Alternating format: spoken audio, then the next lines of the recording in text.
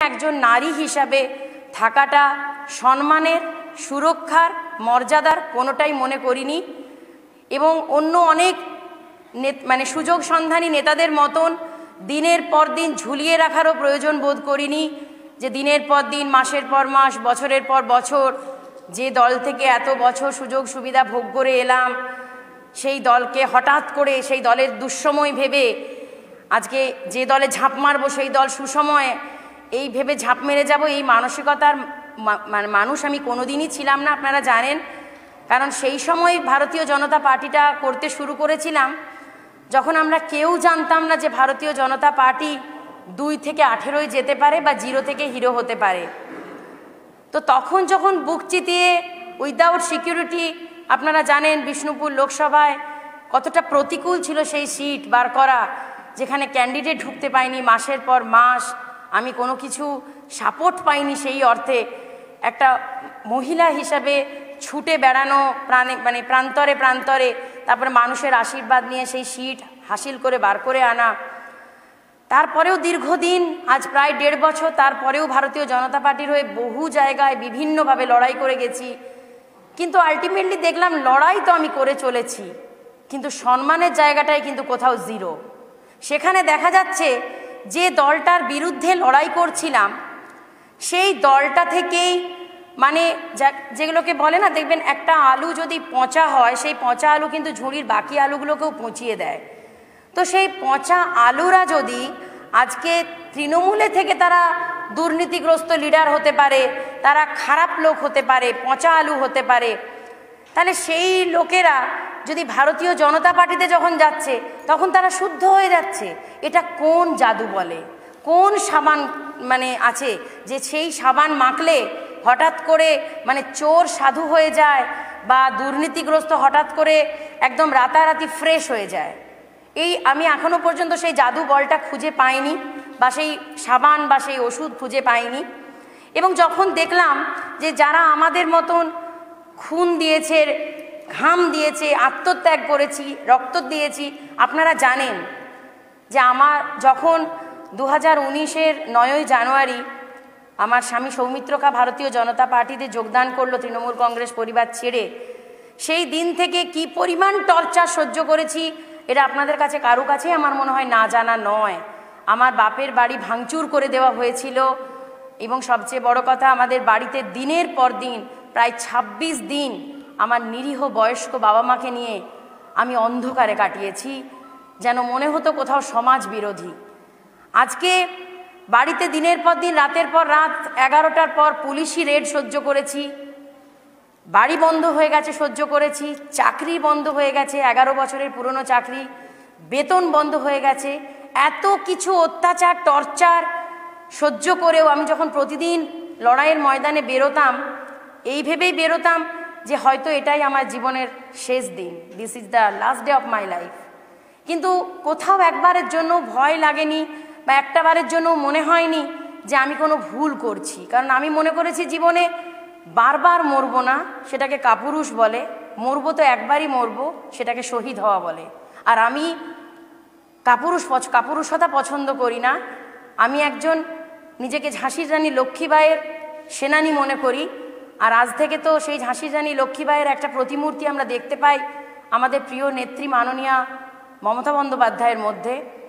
এবং আমার প্রিয় নেতা, যে নেতার গাইডেন্সে আগামী দিন আমরা যারা একদম তরুণ তুর্কি যুব, আগামী দিন এগিয়ে যাব, সেই প্রিয় নেতা অভিষেকদার সাথে আমরা আগামী দিন আমি লড়াই করে যাব। তার দেখানো পথে, তাদের আদর্শে, তাদের নিষ্ঠায় আমি নিজেকে সেই পথে চালিত করব। এবং সবচেয়ে বড় কথা, আমি একটা জিনিস দেখলাম, ভারতীয় জনতা পার্টি যোগ্য লোকের জায়গা দেয় না, যোগ্য লোককে মর্যাদা দেয় না। নইলে আজকে যারা দুদিন এসে জয়েন করছে, তাদের কি রাজনৈতিক ভ্যালু কি ক্যাপাবিলিটি তারা কি লড়াই করেছে? মানুষ তাদেরকে লড়াইয়ের ময়দানে কোথায় চেনে? অথচ এসে তারা যারা আমাদের মতন খুন, রক্ত, পরিশ্রম, আত্মত্যাগ জেল খাটা থেকে শুরু করে সমস্ত অত্যাচার সহ্য করেছি, আজকে তারা কোথাও সাইড বেঞ্চার হয়ে গেছে। আর উড়ে এসে জুড়ে বসা ধান্দাবাজ, লোভী, স্বার্থপররা, যারা সুযোগ সন্ধানী, তারা কোথাও টপমোস্ট পদে বসে যাচ্ছে। আজকে আপনারা জানেন, কোনো রাজনীতির জন্য প্রেস করছি শুধুমাত্র প্রেসটা করছি এই কারণেই? রাজনীতি আমরা যে কারণে করি, কিন্তু একটা দশ বছরের সম্পর্ক, সেই সম্পর্কটাতে এইভাবে রাজনীতির সাথে শেষ হবে সেটা জানা ছিল না। আমি শুধু বলতে চাই যে, সুজাতা, তুমি যে ডিসিশন নিয়েছো, আমি সেই ডিসিশনে বাধা দিচ্ছি না। রাজনীতির ঊর্ধ্বেও একটা ভালোবাসা থাকে, একটা সম্পর্ক থাকে। ঠিক দশ বছর আগে, ঠিক এই দু হাজার এগারোর একুশে নভেম্বর আমাদের প্রেম পর্ব শুরু হয়েছিল, আমাদের নিশ্চিত হবে। তারপর একসাথে দীর্ঘদিন থাকার পর রাজনীতিতে অনেক ঝড় এসছে, পার করেছি। কিন্তু যে কারণে এটাই জানি যে স্বামী স্ত্রীর, স্বামী বিপদ পড়লে স্ত্রী হয়, স্ত্রী বিপদ পড়লে স্বামী থাকে। এবং সেখানে রাজনীতি চলে আসবে এটা ভাবা যায়নি নিশ্চিতভাবে যখন তৃণমূল কংগ্রেস ছেড়েছিলাম, চ্যালেঞ্জ নিয়েছিলাম মানুষের স্বার্থে। নিশ্চিতভাবে অভিষেক বন্দ্যোপাধ্যায়ের কৃতকর্মের বিরোধিতা করেছিলাম। আমি মনে করেছিলাম বা মনে করছি যে পশ্চিমবঙ্গের জন্য যেভাবে উনি যুব সমাজের বা পশ্চিম বাংলাকে যেভাবে চোরের রাজ্যে পরিণত করেছে, তার বিরুদ্ধে আমি সোচ্চার হয়েছিলাম এবং সে দু বছর আগে যখন সোচ্চার হয়েছিলাম নিশ্চিতভাবে নয় জানুয়ারি, সেদিন অনেকে আমার সাথে ছিল না। আমার সাথে ভারতীয় জনতা পার্টির শিবপ্রকাশজি মুকুল্লা কৈলাসজি এবং সর্বোচ্চ নেতৃত্ব দিলীপ দে নরসয় ছিলেন। ভারতীয় জনতা পার্টির অনেক, আমার বিষ্ণুপুরে তখন অনেক জায়গায় ভারতীয় জনতা পার্টির হয়তো সবাই মানুষ সাথে ছিলেন, অনেক কর্মীও ছিলেন না, অনেক নেতাও ছিলেন না। সেদিন সুজাতা নিশ্চিত আমাকে সাথ দিয়েছিল। এটা কোনো আমি কোনোদিন অস্বীকার করিনি, আজও করছি না। কিন্তু দুঃখটা লাগছে একটাই, যে সুজাতা মণ্ডল খাঁ, সে আমার সহধর্মিনী সে আমার স্ত্রী, সেই জায়গায় দাঁড়িয়ে যদি ঝড়ের মধ্যেও ঝগড়া হয়, আমারও তিন মাস ঝগড়া চলছিল। দল আমায় দায়িত্ব দিয়েছে, আমাকে ভারতীয় জনতা পার্টি আমায় জায়গা দিয়েছে, অনেক বড় জায়গা দিয়েছে। দল আমায় বিশ্বাস করেছে এবং দল লড়াই করার জায়গা দিয়েছে বাংলার যুব সমাজের জন্য। এবং সেই দিন কেউ সাথ ছিল না, আমি জানি তুমি ছিলে। আমার মা বাবা ছিল, তোমার মা বাবা ছিল। সেদিন তৃণমূলরাই তোমার টিভি প্রেস বাড়িতে দেখলাম, তুমি বললে তৃণমূলের অত্যাচার ছিল। ঘরে ঢুকতে দেয়নি। তোমার ঘরের ইলেকট্রিসিটি বিল কেটে দিয়েছিল। তোমার উপর আক্রমণ হতে পারতো। আমার উপর আর ছত্রিশটা কেস তৃণমূলে যখন ছিলাম, একটাও কেস ছিল না। কিন্তু যে জায়গায় দাঁড়িয়ে আজ ঝগড়া হয়, অনেক সময় আমরাও লিখি, যা খুশি করো। কিন্তু আজও পর্যন্ত কোনোদিন কোনো মহিলার সাথে তোমায় ছাড়া একদিনও কাটেনি।